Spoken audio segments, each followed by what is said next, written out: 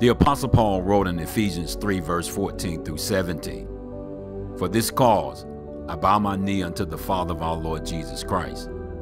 of whom the whole family in heaven and earth is named, that he would grant you, according to the riches of his glory, to be strengthened with might by his Spirit in the inner man, that Christ may dwell in your hearts by faith, that you, being rooted and grounded in love. But if the church continues to struggle with an unhealthy root system, how can we show the world that we're rooted in his love? Don't you think it's time for a root revival?